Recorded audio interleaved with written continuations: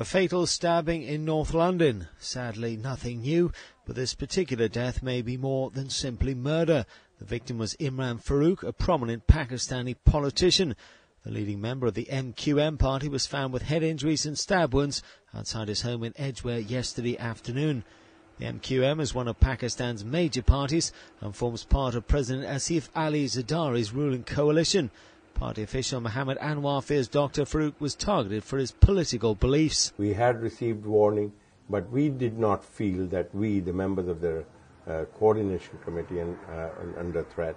And because we have not found any symptoms of robbery, so we feel that there may be uh, an element of conspiracy, and therefore, hence, we can think that it's was an assassination. Dr. Farooq reportedly sought political asylum in the UK after a contract was taken out on his life.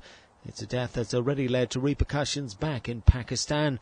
The second largest city, Karachi, brought to a standstill with petrol stations, schools and markets closed and public transport halted amid fears of more violence. Last month, 45 people were killed and hundreds wounded in clashes after another MQM member was gunned down at a funeral. The parties declared 10 days of mourning, but Mohammed Anwar insists they won't be intimidated. If there is a conspiracy, this would not weaken our will. It would not weaken our resolve.